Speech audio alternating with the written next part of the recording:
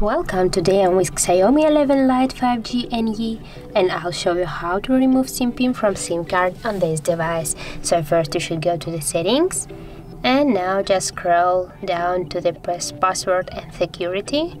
Now just go here to the privacy section and here you will see the SIM lock section. Tap here and now just tap once on the switcher here and just type here your currently password and just confirm with tap to OK.